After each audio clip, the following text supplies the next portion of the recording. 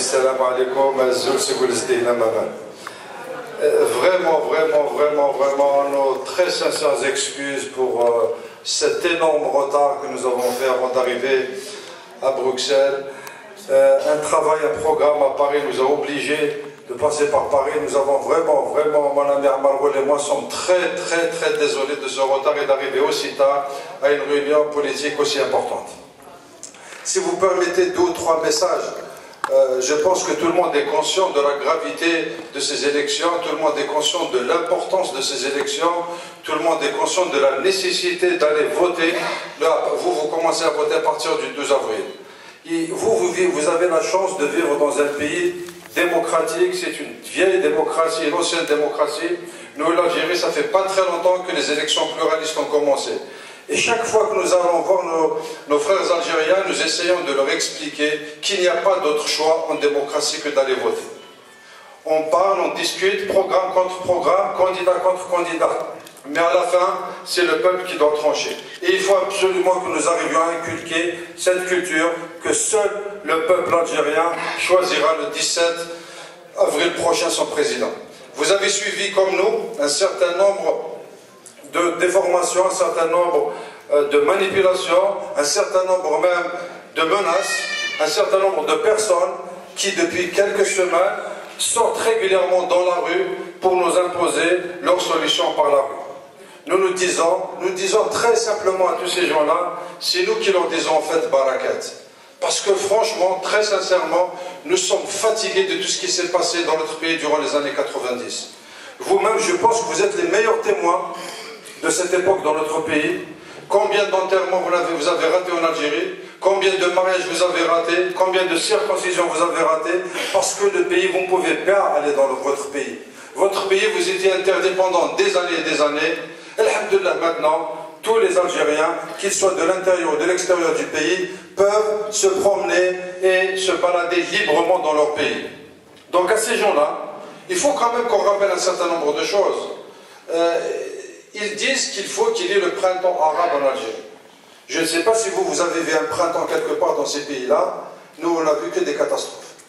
Euh, si vous avez vu, vous avez suivi ce qui s'est passé en Tunisie, vous avez vu ce que la rue libyenne a donné, ce que la rue égyptienne a donné, ce que la rue syrienne est en train de donner, ce que la rue algérienne a donné durant les années 90, nous savons que la rue mène vers le chaos.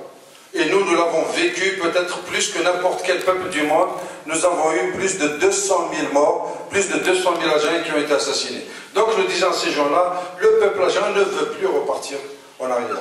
Le peuple algérien ne veut plus qu'on réveille les démons des années 90. Le peuple algérien veut vivre en paix, veut vivre dans la stabilité. Et nous disons à tous les opposants, qu'ils soient qui que ce soit des boycotteurs, d'ailleurs cette affaire de boycott est une chanson vraiment qui est incroyable. Hein. À chaque élection, il y a une partie de l'opposition qui boycotte. Et si vous les suivez bien, tous les partis qui ont appelé au boycott cette fois-ci ont participé aux élections de 2012, tous, sans aucune exception.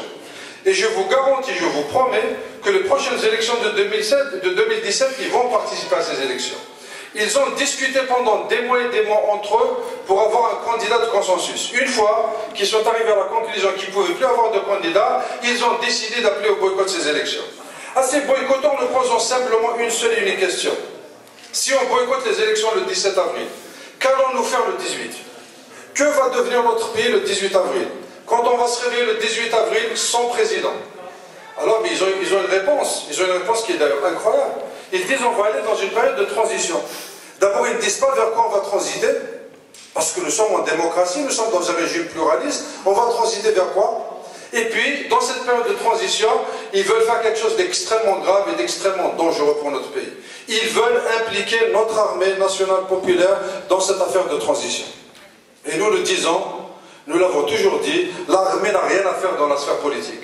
L'armée est très bien dans les casernes, l'armée est très bien dans sa mission de protection de nos frontières et d'assurer la sécurité des Algériens. C'est ça la mission de l'armée.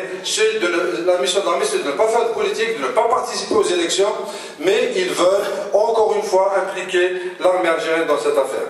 Et très franchement, vous avez entendu, vous avez, surtout à partir d'Europe, des choses qui se sont dites sur notre président depuis qu'il est tombé malade. Ils ont dit des choses absolument hallucinantes sur notre président. Ils l'ont insulté, ils l'ont traité de tous les noms. Ils ont insulté sa famille, ils ont insulté ses frères, ils ont insulté tout le monde.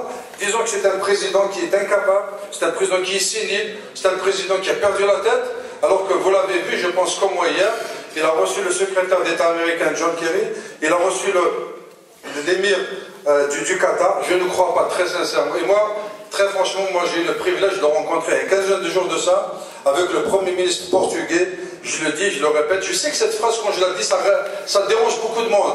Mais je la dis, je la répète, il ne va pas gérer l'Algérie avec ses pieds, il va gérer l'Algérie avec sa tête.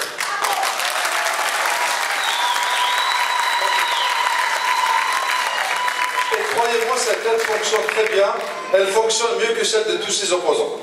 Et hier, nous l'avons vu, nous l'avons vu en face. Est-ce que vous pensez très franchement, très sincèrement, qu'il peut se permettre de recevoir le secrétaire d'État américain si sa tête ne fonctionnait pas bien Franchement, est-ce que vous pensez que le secrétaire d'État américain va sortir en ayant rencontré quelqu'un d'incapable, d'handicapé, il ne va pas le dire?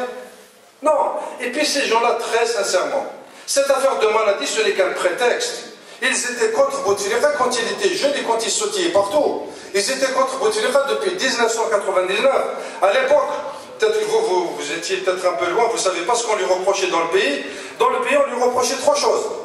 On disait ce bonhomme-là, parlant du président, il habitait la télévision algérienne. Parce que tous les soirs, il était à la télé, il avait des activités quotidiennes. On disait autre chose, on disait qu'il passait son temps dans les avions. Il y a même un journaliste qui a écrit entre deux avions, il est dans un avion. Parce qu'il voyageait beaucoup, il passait son temps à aller participer à tous les grands forums mondiaux pour essayer de réhabiliter l'image de marque de l'Algérie. On lui reprochait aussi d'aller, de sillonner le pays de wilaya en wilaya et à visiter les 48 wilayas. C'est même bonhomme qui lui reprochait son activisme durant les années 90, il lui reproche maintenant le fait qu'il ne bouge pas. C'est incroyable, hein C'est exactement les mêmes personnes. Et puis vous avez suivi avec moi ces, quelques, ces dernières semaines un certain nombre de généraux à la retraite, de colonels à la retraite, d'anciens premiers ministres, d'anciens ministres, qui se sont réveillés d'un coup et qui se sont rendus compte qu'on ne vit plus dans une démocratie. Quand ils étaient au pouvoir, l'Algérie était démocratique. Quand ils étaient au pouvoir, ce pays vivait dans la stabilité, dans la paix, dans la croissance. Maintenant qu'ils ont quitté le pouvoir, ils ont découvert que le pays n'allait pas, ne va pas bien. Et vraiment, je ne veux pas utiliser le geste que vous avez utilisé le matin, mais je pense. Ils sont vraiment, ils sont, vraiment, pas, je préfère ne pas les qualifier. Mais très sincèrement, très sincèrement, nous sommes venus vous dire une chose très importante ici. Il faut que vous alliez voter massivement le 17 avril. Vous, à partir du 12. Il faut sortir massivement voter parce que tous ces opposants-là et tous les ennemis de l'intérieur et de l'extérieur doivent recevoir une véritable leçon de démocratie le 17 avril. Et cette leçon de démocratie, c'est le peuple algérien, c'est le peuple algérien, le peuple algérien seul qui va décider. Nous disons à tous ces gens-là qu'ils appellent, ils ont même une une grande polémique dans la presse algérienne, disant pourquoi M. John Kerry, le secrétaire d'État américain, vient en Algérie alors qu'il était au Maroc, le Maroc lui a déroulé le tapis rouge. Tous les Marocains étaient contents de recevoir le secrétaire d'État américain et nous, ils disent il ne faut pas qu'il vienne en Algérie. Très sincèrement, je m'interroge avec vous. Est-ce que c'est ça vraiment une attitude patriotique? Est-ce que c'est ça vraiment aimer son pays? Que d'interdire au secrétaire d'État américain, à la plus grande puissance du monde, de venir dans notre pays, discuter avec notre pays, s'enquérir des positions officielles de l'Algérie en ce qui concerne la région, en ce qui concerne les affaires du monde. C'est une chose extraordinaire que de discuter directement avec les Américains et de leur donner le point de vue officiel de notre, euh, de, notre pays. Mesdames et messieurs, je vais laisser mon ami Armaroul, je ne vais pas trop tarder, mais pour vous dire une chose importante. La plupart ou la majorité de ces opposants, en fait, ils n'ont pas de problème avec le président Bouteflika. Parce que le président de l'Algérie a existé avant Bouteflika, l'Algérie existe avec Bouteflika, l'Algérie existera après Bouteflika, mais il y a une seule chose que nous ne pouvons pas changer dans ce pays. Et ça, c'est malheureux pour eux, mais on ne peut pas le changer, c'est le peuple algérien. Nous avons le peuple que nous avons. Nous avons le peuple que nous avons, et c'est ce peuple-là qui va trancher, qui va décider qui sera président le 17 avril. Ce n'est personne d'autre. Ce ne sont pas les médias étrangers, ce ne sont pas les médias nationaux, ce ne sont pas les hommes politiques, et ce ne sont surtout pas ceux qui passent leur temps sur Facebook à nous insulter. Merci.